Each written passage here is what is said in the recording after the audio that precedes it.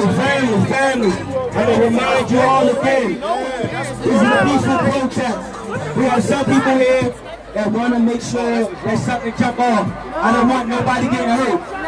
We don't want nobody getting hurt. Please be considerate of how many kids are out here.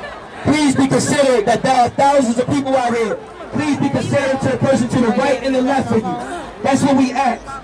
Please be considerate. We want your voice to be heard. We want you to do the right thing. We know we need change, but we also make sure that nobody leave here hurt. That's the only thing we ask.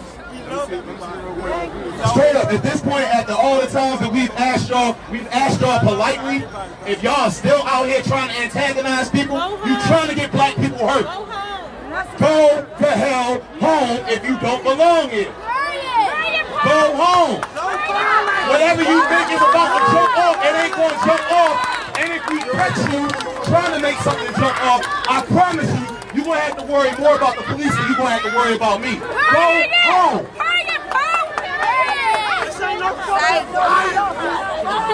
All this trauma porn, like this is Go home.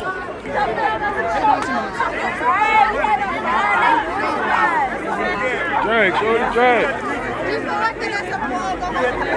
I don't know. Drag, shorty, drag, shorty, drag. Drag, shorty.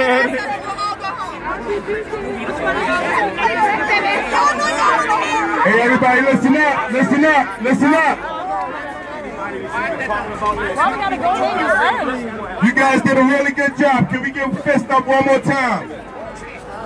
Listen, everybody with your fist up, that means you did this peacefully today. We appreciate you. We're not going to let those that don't have their fist up ruin this for us, all right? We're making progress. Progress. We're making progress, all right?